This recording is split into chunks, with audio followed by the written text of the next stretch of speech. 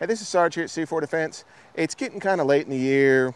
Leaves are starting to change, starting to fall. And I started thinking about getting a bigger gun for winter carry or maybe going hunting this winter. So I decided to pick up a Gen 4 10 millimeter Glock 20. Let's go ahead, put a few on steel before we get started. Oh yeah. It's like a, grown up 40. All right, let's see if we can get that one. Got it. You see how much that thing flew? Holy mackerel.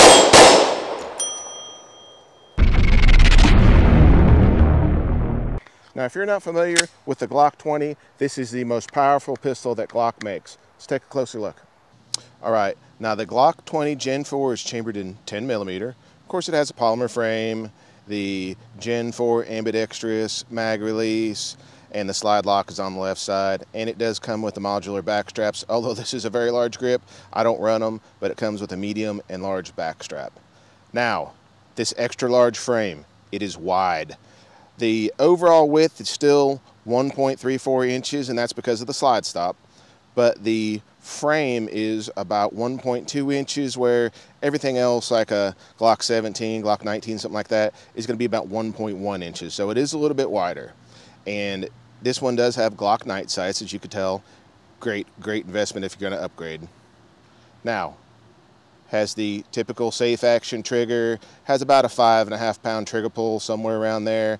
Comes with a standard 15 round magazine and the height is 5.51 inches. And it does have an accessory rail for any light or laser that you want to run and I'm going to put my trusty TLR1 HL on it here in just a minute. Now the barrel length. 4.61 inches. It is just a little bit longer than the other full-size Glocks. Slide length 7.6 with an overall length of 8.07 inches and a sight radius of 6.69 inches. Now, the weight, this thing is heavy. With an unloaded, without the magazine, it is 27.51 ounces. With an empty mag, it's 30.69 ounces. And fully loaded with 15 rounds, of 10 millimeter, it is 39.86 ounces. Now, let's go ahead, put a few more on steel. Now the 10 millimeter is one heck of a cartridge. This is what the 40 Smith & Wesson was designed or derived from. Uh, this is the more powerful of the two, of course. And it's got a lot of applications, mainly for hunting. Of course, it is for self-defense as well. But this magazine, I forgot to show you. And of course, I, I labeled them because physically they look the same from a distance, but I, I put a marker on them to, to designate which one's a 10 millimeter. But this thing is a lot wider than the 9 or 40 or 357 SIG mags that they already have for the, for the regular handguns. But let's go ahead and put a few more on steel and see what we think about it. Now, this one has a 15 round capacity. And let me tell you, 15 rounds of 10 millimeter is a lot. And this thing is extremely accurate. My gosh. And this is, these are full power loads that I'm shooting. Not self-defense rounds, but they're still very powerful.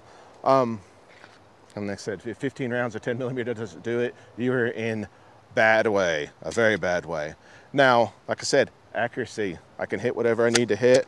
We'll go ahead and run one more mag through it, just uh, seeing what it'll do. Then I'll throw the old Amazon battle belt on and we'll shoot some in self-defense. There we go. Yeah, I like this thing. This is the beginning of a project.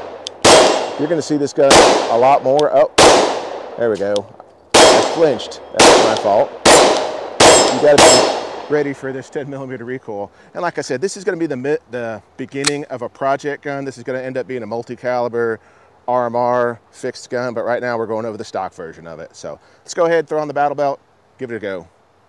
Now I went ahead and threw my Streamlight TLR1 HL on it since this is a excellent choice for a tactical gun or a home defense gun. This, this will definitely do the trick. Um, and I grabbed my Amazon battle belt. You know, I got a video on this. You can check it out right here. And this is one of the reasons why I got it. A, it'll hold any gun that has that light on it. So I don't have to worry about buying a new holster every time I get a gun. And B, these mag pouches will hold any magazine that I choose to put in them. So like I said, go ahead and check out that other video. Let's go ahead and see if we can get some on steel in more of a self-defense scenario. I'm gonna see if I can get all 15 of these on the static target. All right, here we go.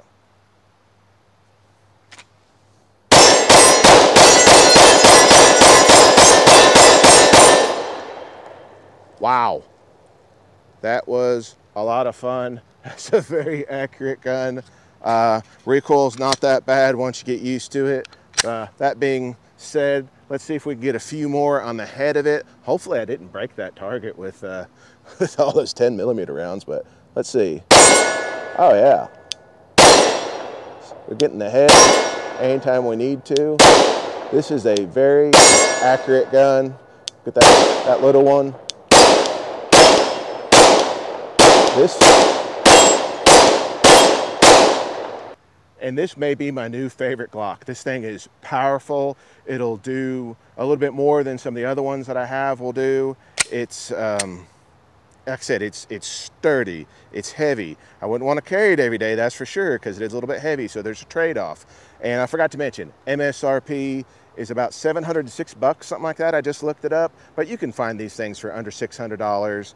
Um, good choice, home defense, definitely a great choice out in the woods, especially if you're medium to large game hunting. This thing will do the trick and Congratulations for making it to the end of the video. Smash that subscribe button if you like what you saw. Give us a thumbs up, leave us a comment. Smash that subscribe button anyway. If you want to find out more information about this or other products, follow us on Facebook. Check out our Instagram and our Twitter as well. If you want to see one of my favorite videos, click here. If you want to see videos from my buddies, Gizzard Gary, The Gun Snob, and Obnoxious One, smash here.